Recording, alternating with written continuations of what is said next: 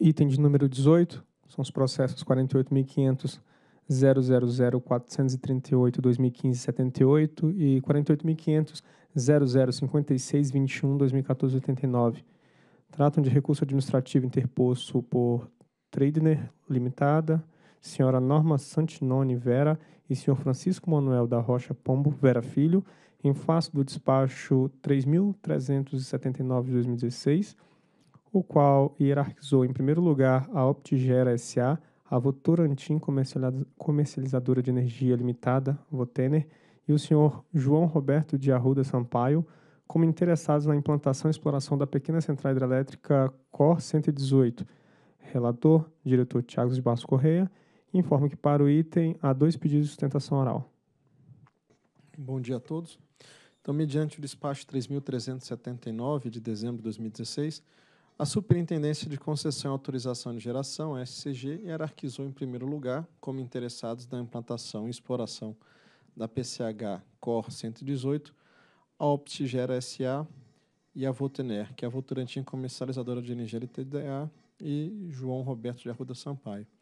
Mediante o despacho 3.380, de 23 de dezembro de 2017, a SCG registrou a adequabilidade aos estudos de inventário e ao uso do potencial hidráulico no sumário executivo da PCH Core 118 com 30 kW de potência instalada, cadastrada sobre o Código Único de Impedimentos de Geração, conforme o número PCH PH Goiás 035590, dígito 9.01, localizada no Rio Corumbá e integrante da bacia da subbacia 60 na bacia hidrográfica do Rio Paraná, nos municípios de Pires do Rio e Urutaí, no estado de Goiás e resignados a Tredené, a Norma Santione, Santinone Vera e Francisco Manuel da Rocha Pombo, Vera Filha interpuseram recurso administrativo em 5 de janeiro de 2017, motivo pelo qual, em 11 de janeiro de 2017, a SCG publicou comunicado número 2, suspendendo os efeitos do despacho 3.379 e número 3.380 de dezembro de 2016, até que fosse julgado o mérito do referido recurso. Em sede de reconsideração, a SCG emitiu nota técnica número 63 de 2017, mediante a qual entendeu não assistir razões recorrentes, mantendo os termos do despacho no 3.379. Em janeiro de 2017, o processo foi a mim distribuído. Em fevereiro, minha assessoria recebeu a Votorante Energia em reunião. Em março, os recorrentes apresentaram complementação de seu recurso, por intermédio do ofício número 268 da SCG, a SCG oportunizou a Optigera e a Votener, Votorantim, e o senhor João Roberto de Arruda Sampaio, os recorridos, ao oferecimento das contras-razões ao recurso.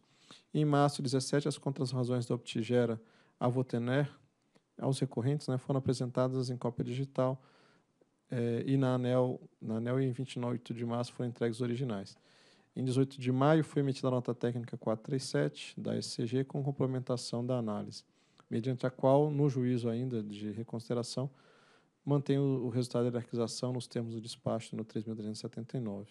Em 5 de junho de 2017, foi emitida complementarmente a nota técnica 479, mediante a qual a SCG mantém os termos da nota técnica das duas notas técnicas anteriores.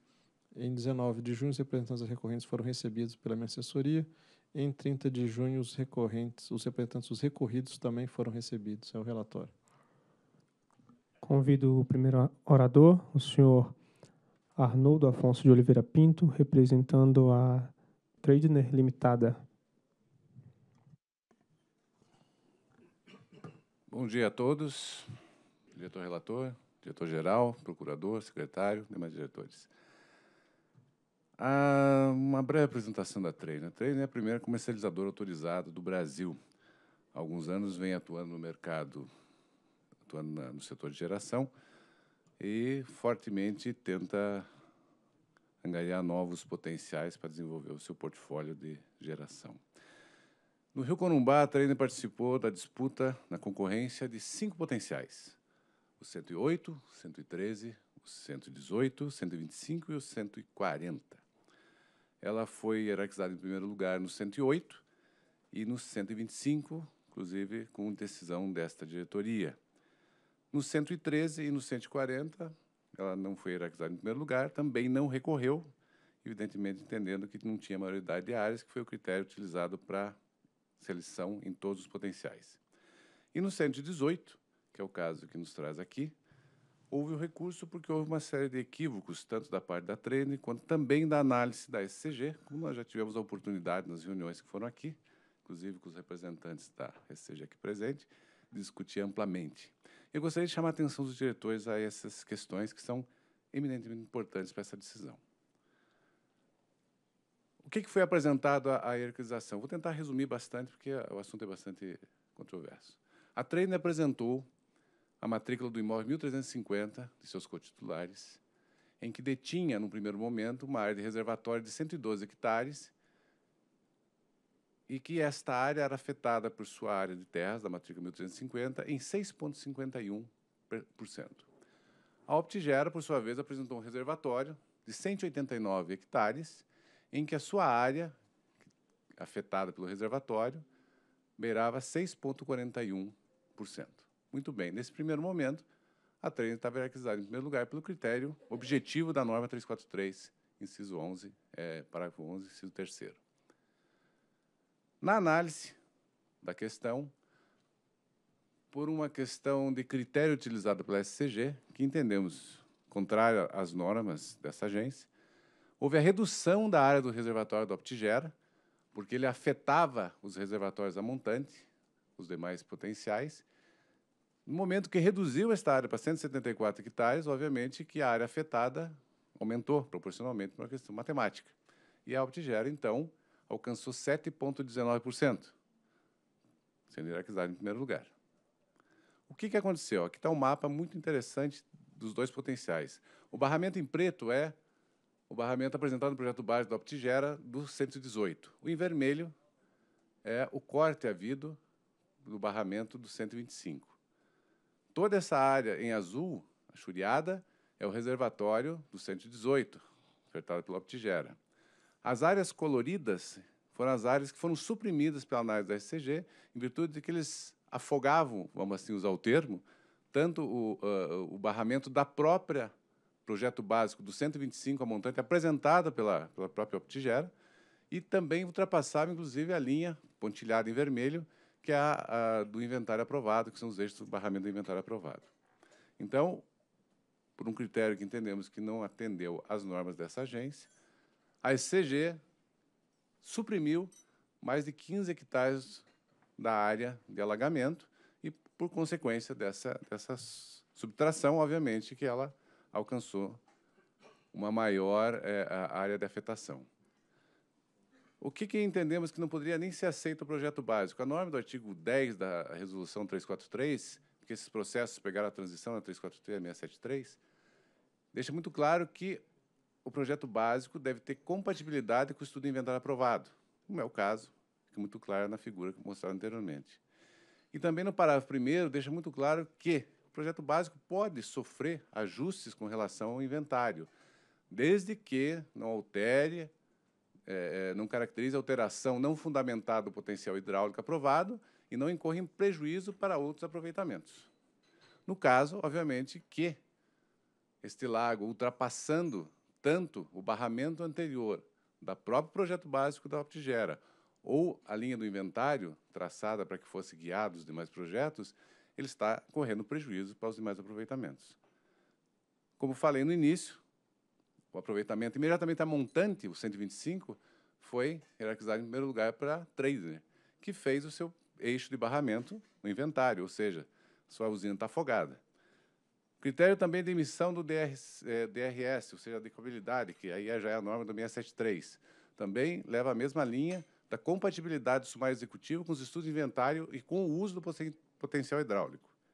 É importante é, é, indicar essa tabela, que saiu no despacho de adequabilidade do sumário executivo, em que a análise é feita com base no 1,87 km, ou seja, no original, no montante original da área do reservatório apresentado pela concorrente Optigera. Ou seja, para dar o DRS, utiliza-se o que foi apresentado de 1,87. Para a eriquização, diminui o lago e aí dá uma vantagem, obviamente que não combinada, mas enfim, por conta do critério utilizado em todos os procedimentos.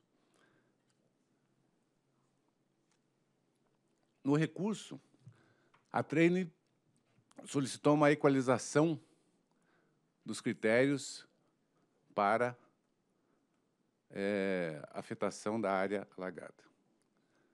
A Treine apresentou, por entender que seria correto, uma área georreferenciada, e não a área conforme a matrícula estipulava em suas coordenadas geográficas. Ou seja, ela deixou de apresentar uma área de 4,94 hectares, conforme se encontra na matrícula georreferenciada apresentada no momento oportuno, com todos os prazos regulamentares cumpridos. Não foi considerado essa, essa matrícula porque entendeu a SG, no momento da análise, que havia cometido um equívoco com relação à, à área da Optigera que tinha entrado na calha do rio. Simplesmente foi lá, manteve o reservatório e reduziu a área novamente da Optigera, que manteve ainda, por alguns décimos de percentuais, um montante superior à área apresentada inicialmente pela Trainer. A Trainer insistiu numa manifestação no sentido de que fosse analisado a área até a margem do rio, como foi analisada a área apresentada pela Optigera. E eu mostro as figuras no sentido de que possam verificar aqui, toda aquela área em vermelho não foi considerada, a área em azul é a área do polígono da matrícula 1350, e a área em vermelho é a área que deveria ter sido considerada, que, que está na matrícula do imóvel apresentado pela Trainer, que vai até a margem do rio Corumbá, essa é uma imagem de satélite, mas não foi considerada. Nós temos 6,5 km de margem de rio, de reservatório. Então, é impossível não termos a maioridade das áreas com relação a esse procedimento. Esse, esse pedido de retificação, inclusive, já foi objeto de, uma, de um voto vista do diretor Reive de Barros, em outro processo de concorrência, que deixa claro que antes da decisão final, ou seja, antes da decisão da diretoria, é possível a apresentação de novos argumentos, que foi o caso. Apresentei errado, quero que analise dessa maneira, e não foi. É, finalizando, a área pode ser identificada com relação aos pontos de coordenadas, então não há dificuldade alguma dessa verificação de fato. E o importante frisar que, no quadro comparativo, a Votonero, a Optigera, que são concorrentes, apresentaram, mesmo com reservatório reduzido, uma área de 6,86. Se for considerada a área até a margem do rio, no mesmo critério utilizado para a Optigera, nós teremos 13,30 de área afetada pelo reservatório.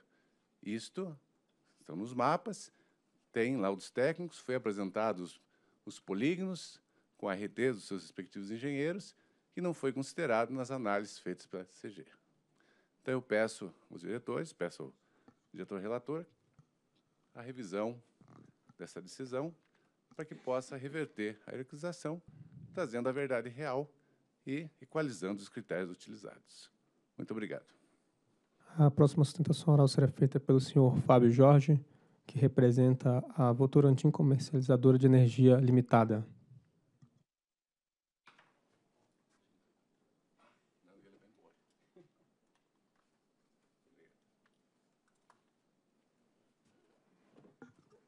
Olá, bom dia a todos. É, acho que a cronologia dos fatos já foi devidamente apresentada aqui no relatório e na primeira sustentação. Então, eu já vou direto ao ponto, é, elencando os principais argumentos trazidos pela, pela concorrente, que a gente tem de ter, ter uma certa dose de fragilidade e contradição. O primeiro deles é que, mesmo a concorrente tendo apresentado uma área do reservatório no estudo de cota, cota batida 30% inferior à do projeto básico, mesmo assim, o percentual de terras adquiridas pela Votorantim Energia Optigera é superior. Isso pode ser demonstrado na figura, na figura a seguir, onde estão destacadas essas diferenças entre o projeto básico e a cota batida da própria Tradner. Outro ponto é que, no âmbito do processo administrativo, a Tradner, a Tradner fez um pleito de desconsideração da área da calha do rio, apresentado pela Votorantim Energia Optigera, com a argumentação que a área da calha do rio pertence à União e de fato pertence à União, tanto é que esse pleito foi acatado pela superintendência, que recalculou os percentuais e mesmo assim a VELP Tigera teve um percentual superior à da concorrente. Como não houve alteração de resultado, a, Treisner, na sequência, apresentou, pediu uma consideração da área da cara do rio apresentado por ela apresentado, com a fundamentação que essa área pertenceria aos proprietários lindeiros. Já uma demonstração clara de, de contradição. E, por fim, que essas áreas que eles estão pedindo para incluir são, na verdade, ilhas pertencentes à União, como pode ser observado, dando um destaque aqui nas, nas próximas figuras. Na figura 1, dependendo da vazão do rio, essa área claramente é formada, é uma ilha que eles estão pedindo para incluir nos percentuais. Essa é a figura 1 e esse aqui é dando um zoom na figura 2. Então, com base em todos esses argumentos, a gente entende que a decisão deve ser mantida no âmbito aí da, da análise da superintendência e do relatório do diretor. Muito obrigado. Obrigado, Procuradoria. Que a Procuradoria opina pela presunção de juridicidade da decisão a ser proferida pela diretoria. Então, preliminarmente, informa-se que as análises efetuadas pela SCG refletem o entendimento desta relatoria sobre a questão e serão adotados em sua integralidade como fundamentos do voto. Ressalta-se que a manifestação apresentada pelas recorrentes em face da nota técnica número 63, emitida em sede de reconsideração, não tem previsão regulamentar. No entanto, esclareça-se que seu conteúdo foi considerado nas análises em prestígio ao princípio da verdade material, real administrativa. Em apertada síntese, os recorrentes sustentam que interpretam sistematicamente, que interpretaram sistematicamente o ofício número 534 da SCG, não apresentando áreas que excedessem os limites da certificação constante no SIGEF INCRA, ao contrário do que fizeram os recorridos concorrentes, que computaram áreas compreendidas entre os limites da certificação e as margens do rio, que, e B, que para equalizar os critérios de seleção, também deveriam ser computados em favor dos recorrentes as áreas que excederam os limites de certificação e que atingem as margens do rio, o que alteraria o resultado da seleção em favor dos recorrentes, conforme o memorial descritivo apresentado, e que apresentaram o polígono no reservatório através da cota batida, enquanto os recorridos concorrentes o fizeram através do perfilamento a laser, e que, igualados os critérios e que se adotando o mesmo perfilamento a laser para ambas as concorrentes, demonstrar-se-ia que os recorrentes dispõem de área alagada equivalente a 13,47% do reservatório nos termos do laudo técnico apresentado. E D, que é ilógico o critério de avaliação da área do reservatório, constante nota técnica 944-2016, que leva em consideração a área do reservatório do aproveitamento em concorrência da PCH COR 118 e os limites do reservatório do imediatamente a montante, que seria a COR 125, considerando os polígonos dos reservatórios apresentados por cada concorrente. Em relação ao item A, os recorrentes alegam que não teria havido isonomia na análise das áreas apresentadas para fins de seleção, visto que não teriam sido observados para os recorridos, é, não teria sido observado que os recorridos utilizaram critérios diferentes para a definição da área do reservatório. Os recorrentes aduziram ainda que os recorridos não teriam limitado a área do reservatório às medidas definidas na certificação junto ao SIGEF-INCRA bem como excederam esses limites enquanto os recorrentes limitaram a área de seu reservatório aos limites constantes na certificação do georreferenciamento junto ao INCRA. Nas contrarrazões, os recorridos defendem que a diferença verificada se deu porque a Optigere e os demais cotitulares apresentaram áreas que compreendiam as áreas entre, o rio, entre a margem do rio e os limites constantes do, do georreferenciamento junto ao INCRA, enquanto os recorrentes apresentaram apenas as áreas dentro dos limites do georreferenciamento. Os recorrentes alegam que teriam sido induzidas a erro pela orientação contida no ofício da SCG. E para as recorrentes haveria a obrigatoriedade de se apresentar memorial descritivo protocolado junto ao INCRA ou registrado no SRI juntamente para se demonstrar que o polígono apresentado deveria estar contido dentro dos limites dos dados certificados ou apresentados à certificação. Não assiste razão, no entanto, a recorrente.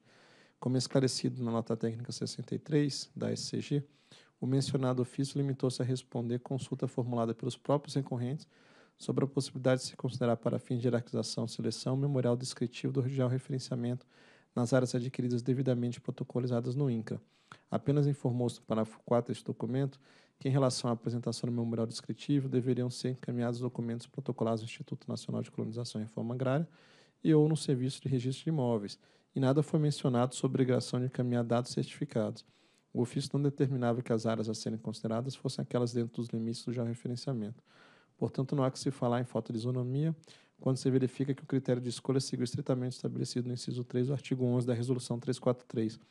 A avaliação das áreas foi feita com base nos dados que constam das matrículas registradas em cartórios imóveis. Os recorrentes também levantam a questão de que certificações emitidas pelo INCRA não abrangeriam as áreas compreendidas entre a calha e a margem do rio. Essa área deveria ser considerada como de domínio do proprietário lindeiro para fins de seleção. Quanto a este particular, a SCG resolveu acatar a contestação da recorrente no que se refere à sobreposição com a calha do rio, com a sua exclusão no cômputo das áreas afetadas pelo reservatório, porque a área da calha do rio pertence à União deve ser computada como pertencente e não deve ser computada como pertencente aos proprietários lindeiros, né, como já foi até mencionado na sustentação oral do recorrido. Apesar da alteração da área afetada pelo reservatório, não houve alteração no resultado da anexação, tendo em vista que os recorridos se mantêm com maior percentual de propriedade de terras do reservatório. Em relação ao item B, a SCG já havia se posicionado sobre essa alegação e considerado improcedente, pois a área dos lindeiros não deve ser computada conforme já tratado na nota técnica 63 e até mencionado no item A. Em relação ao item C, o método de levantamento no, no reservatório foi estabelecido pela resolução 343. Assim, não, são aceitos tanto o levantamento topográfico de campo, cota batida, quanto o perfilamento a laser, cabendo ao interessado a escolha do método que julgar mais adequado. Quanto ao critério para delimitação no reservatório de ambos os concorrentes, os recorrentes se insurgem também contra o critério para delimitação no reservatório, que teria resultado em diminuição na área do apresentado. O critério citado consta na nota técnica 926, de dezembro de 2016, que analisou a hierarquização do aproveitamento da PCH COR 108. Nessa oportunidade, observou-se que os reservatórios da COR 118, da COR 125 e da COR 140 é, ultrapassar o limite dos eixos dos aproveitamentos montantes definidos tanto no inventário quanto nos projetos básicos. Com essa sobreposição de reservatórios, pode levar à contabilização na mesma área para dois aproveitamentos hidrelétricos distintos, a SCG estabeleceu o critério de adotar como área do reservatório apenas as áreas compreendidas entre dois barramentos adjacentes, identificados nos respectivos projetos básicos apresentados pelos interessados. Os recorrentes alegam que não existe lógica para adoção desse critério, visto que não há decisão definitiva quanto ao projeto básico efetivamente selecionado para ser implementado, e, consequentemente, não se tem juízo de certeza acerca da localização do eixo definido do aproveitamento a montante. Ainda argumentam que, se a limitação na área reservatório se desse no eixo a montante, conforme estabelecido no inventário, haveria lógica, pois ao se elaborar o projeto básico é sabido que se devem respeitar os limites do inventário aprovados pela ANEL. A alegação dos recorrentes não procede, o critério estabelecido é bastante adequado, já que evita a dupla contabilização de áreas em reservatórios distintos. Sua aplicação se deu com sucesso na anexação de demais aproveitamentos do rio. Assim, não há razão para a reforma da decisão proferida pelo despacho 3.379. Então, com apoio nessa fundamentação e no disposto nos processos 48.500.005621-2014 de 79 e 48.500.000438-2015 de 78, Voto por conhecer do recurso administrativo interposto pela 3 LTDA, pela senhora Norma Santinoni Vera e pelo senhor Francisco Manuel da Rocha Pombo Vera Filho, em face do despacho 3.379, de 23 de dezembro de 2016, o qual hierarquizou em primeiro lugar a Optigera S.A. e a Votener Votorantim Comercializadora de Energia, e o senhor João Roberto de Arruda Sampaio, como interessados na implantação e exploração da PCH COS 118, para, no mérito, negar-lhe provimento. É o voto. Em discussão. Em votação. Eu voto com o relator. Acompanho o relator. Eu também voto com o relator e proclamo que a diretoria, então, decidiu por conhecer do recurso administrativo interposto pela Tradener Limitada, por norma Santinone Vera e por Francisco Manuel da Rocha Pombo Vera Filho, em face do despacho 3.379-2016, o qual hierarquizou, em primeiro lugar, Optigera S.A., a Votner, Votorantim Comercial e Comercializadora de Energia Limitada e João Roberto de Arruda Sampaio, como interessados na implantação e exploração da PCH Cor 118 para, no método, negar-lhe provimento, para manter a decisão já recorrida. Próximo item.